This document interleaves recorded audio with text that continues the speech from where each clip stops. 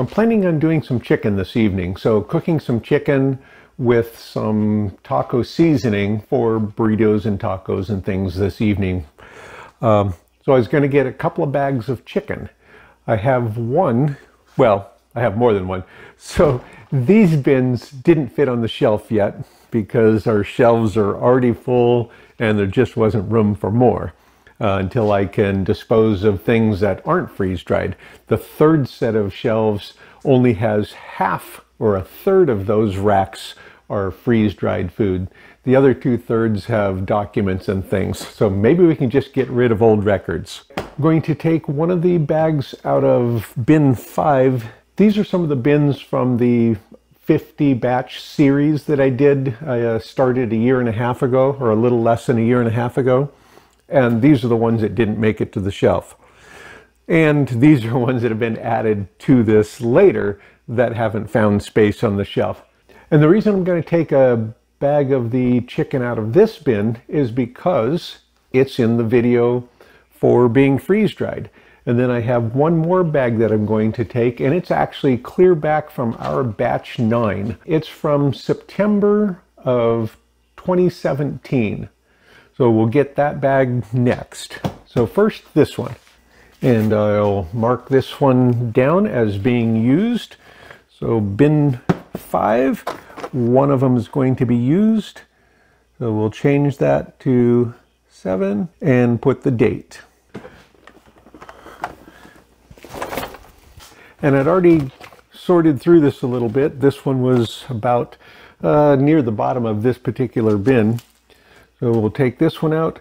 This was one pound. It needs 160 grams, or it should weigh 160 grams if I put this on the scale, and it needs 315 grams of water put back in to equal the pound. And I can do that at the same time that we're adding the taco seasoning. So we'll get this one, and then we'll go get the other one. So the chicken we're looking for on this one is in bin four. And this particular printout we update this every month or two, um, every couple of months. We update it when it feels like it's time to update it. And we have all of the different categories of food on this list. And then we have them sorted by the oldest date first for that particular thing. So this is uh, chicken and then the oldest one toward the newest one. So we'll get that one out. And it says that it's in the bin in the back of this one. And I haven't gotten around to relabeling this yet. So I'll get rid of the front portion of it and it'll just have bin one, two, three, four, and so on.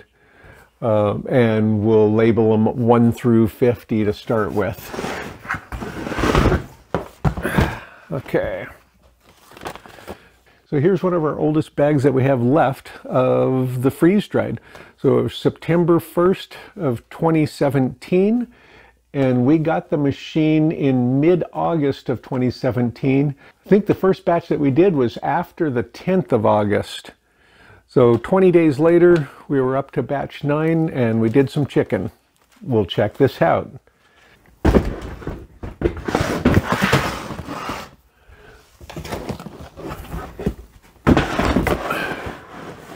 We'll get these upstairs and get them checked out. So we have something from batch 9 and something from batch 525.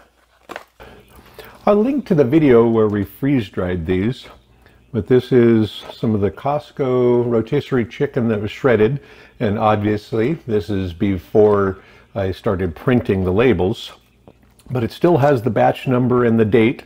Wanted to add this in here. So 160 grams this is about a year and a half after, let's see, what day is today?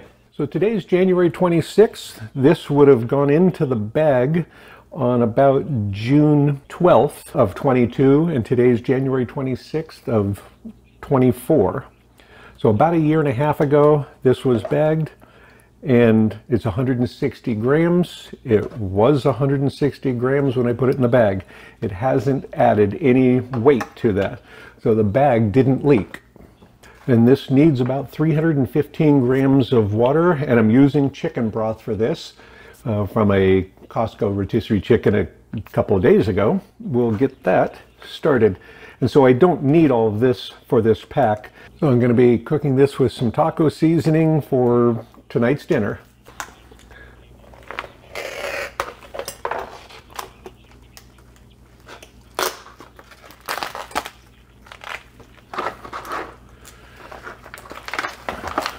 Okay, so let's get the oxygen absorber out and I should have planned for that. I could have put it in the tester to find out how much more it will absorb, just like it would into the bag.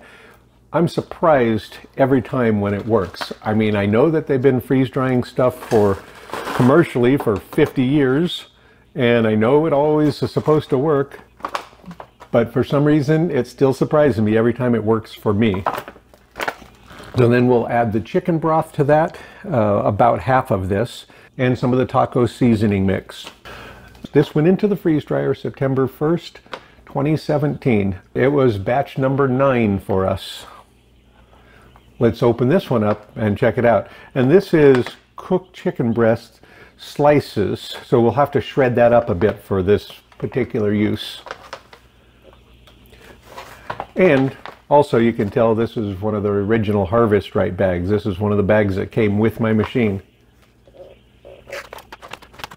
Okay, so got that oxygen absorber also. We'll kind of shred those up a bit before we put those in. Yeah, they have no odor that I can... So many things when they're freeze dried, you can no longer smell them. I assume that's because of how smell works and little molecules coming off, and it doesn't when it's dry. So we'll shred this up and add it to it. And I don't know how much water this will take or how much broth. So we're just going to have to kind of guess. I could get some idea on this with the scale. So let me do that. So I did a quick weight check on that and the chicken in here is almost identical to the weight of the chicken there. So if I extrapolate that out, it should need about 630 grams of moisture. And this is and this is a little less than 800 so I think it's going to be fine after it cooks down a bit so we'll kind of shred this up and put that in there. It sure is easy to shred chicken when it's dry. And if there's any pieces too big in there I can just shred them later. And they'll kind of shred as they get stirred anyway.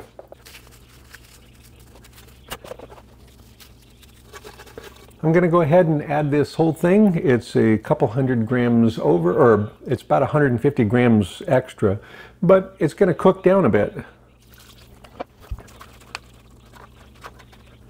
Huh, if anything, that's still dry, so I'll probably add a little bit more. And then that's about two pounds of chicken. And I'll add some of the taco seasoning. I'm going to guess the other chicken that I hadn't weighed the moisture out of, that I hadn't recorded that, needs more. It's a lot more chicken than I expected. We'll get that heating slowly, but I am going to add a bit more liquid. Okay, so I'm adding another cup. We'll get it heating. We'll check in on it a little later. We have chicken, we have a shell. I think I'll use the handle. So shredded chicken with taco seasoning. And some of this is the Costco rotisserie chicken, and then some of this was the six and a half year old chicken uh, from batch number nine.